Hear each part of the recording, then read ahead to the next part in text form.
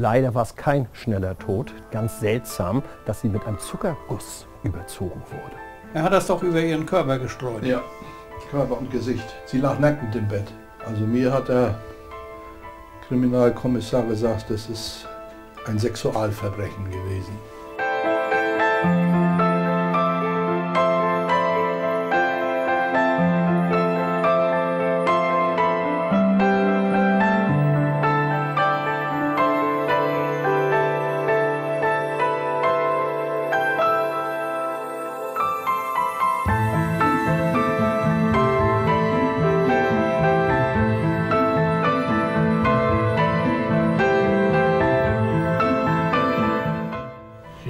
Sie kennengelernt? Indem Die haben Reinigungsarbeiten ausgeführt. ja, die haben Flyer hier reingeworfen Ja. und die sollen besonders billig gewesen sein mit den Reinigungsarbeiten. Und daraufhin hat sie angerufen und die sind dann gekommen. Was genau haben die hier gemacht?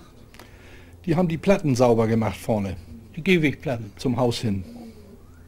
Mit Hochdruckreinigern, mit Kerchern. Und dann haben sie auch hier hinten noch die Gehwegplatten sauber gemacht, sind aber angeblich immer nur durch die Garage gegangen, also nicht durchs Haus.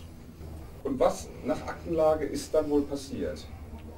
Nach Aktenlage ist von der Kriminalpolizei fest, späterhin festgestellt worden, dass sie ermordet wurde in ihrem Schlafzimmer.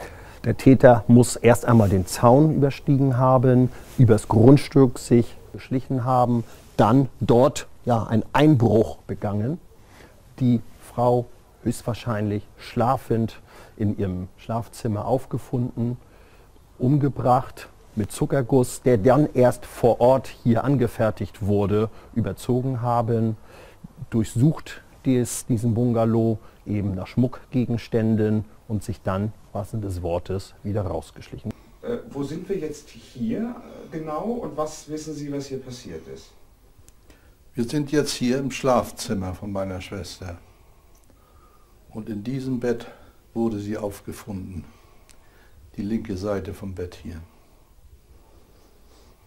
Und was soll hier passiert sein? Was wissen Sie nach Aktenlage? Ja, sie ist ermordet worden, sie ist erstickt worden. Die Leiche wurde mit Zuckerwasser eingerieben, was sich dann kristallisiert hat nachher. Und so wurde sie aufgefunden. Die Bedeutung ist aber nicht bekannt. Nee, Das heißt, man weiß nicht, warum der Täter das gemacht hat. so ist es, ja. Gibt es da Mutmaßungen? sexuell wahrscheinlich. Wie war der Kontakt zwischen Ihnen beiden und Ihrer Schwester? Gut, Der war äh, durchweg gut. Äh, das Einzige ist, jeder hat natürlich seine eigene Welt gehabt. Ne? ja, jeder hat sein Leben Mhm. selbst gelebt. Ne? Wenn Sie sie mal beschreiben würden, ich kenne sie ja nicht, ich kannte sie nicht, was war sie denn für ein Mensch? Tja, sie war vornehm, Sehr viel Wert auf ihr Äußeres gelegt. ja, Jede Woche zum Friseur. hat 50 Jahre am Trägerwerk gearbeitet. Ja, von der Lehre bis zur Rente. Ja. Und war sehr vermögend, das kann man ja auch noch sagen. Wie, wie war sie denn vom, vom Typ her? War sie eher gutmütig? Ja. War sie vielleicht ein bisschen naiv? Wie würden Sie sie Nee, nee, naiv ist sie nicht, die war sehr intelligent, also Sie war gutmütig. ja, zu gutmütig. Das heißt, es, im Grunde hat er das auch ausgenutzt, oder wie würden Sie es in Ihren Worten sagen? Ja, ich denke, der, hat- sie hat ja immer Schmuck getragen. Das hat ihn wohl so ein bisschen angeheizt. Vermutlich, ich weiß es nicht. Und äh, das wird wohl der, der Auslöser gewesen sein. Er wird herausgefunden haben, dass sie hier alleine wohnt. Wie er das gemacht hat, weiß ich nicht. Und wie ist das hier mit der Nachbarschaft? Ähm, passen die eigentlich aufeinander auf? Eher nicht? Ja, mit, glaube ich, mit denen hier nebenan hat sie sich ganz gut Ja, verstanden. Ne? Sie ja. haben zwar nicht im Garten zusammen gegrillt, aber sie haben schon so ein bisschen aufeinander aufgepasst, das stimmt. Sie war auch bekannt hier.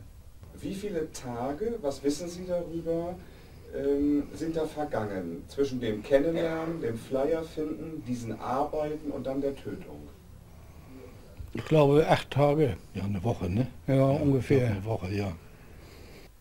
Und was wissen Sie aus der Akte oder aus einem Gutachten, das Sie vielleicht gelesen haben, wie genau Ihre ähm, Schwester ums Leben gekommen ist und was mich auch interessieren würde, war das ein schneller Tod? Musste sie leiden? Wie war das? Ah, ich glaube, sie musste leiden. Ne? Ja, aber die Polizei hat gesagt, das war ein schneller Tod, weil sie, Ja. weil das weiß man eben nicht so ganz genau, weil sie ja äh, erstickt wurde. Aber, aber wie lange sie darunter gelitten hat oder so, ist nicht bekannt. Also von uns nicht bekannt. Sie meinten, sie habe gelitten. Wie kamen Sie darauf?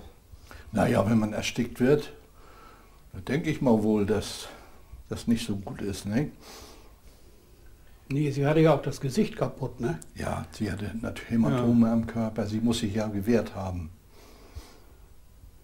Das würde ich gerne noch ein bisschen ausführlicher äh, hören. Meinen Sie, sie hat sich gewehrt? Sie hat sich nicht gewehrt? Wie lange ging das etwa? Ja, das wüssten wir Das gerne wissen auch. wir auch nicht. Also gewehrt hat sie sich mit Sicherheit, weil das, äh, die Nase war verschoben oder irgend sowas. Ich hab's, weiß es auch nicht so ganz genau.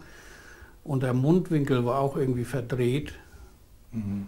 Wie er das gemacht hat, ist ja nicht so bekannt. Vielleicht kriegen wir das ja beim Gericht raus, aber so weiß es noch keiner von uns. Was hat die Staatsanwaltschaft angeklagt? Was wissen Sie in der Aktenlage? Mhm. Sowohl ein Raubüberfall als auch ein Mord.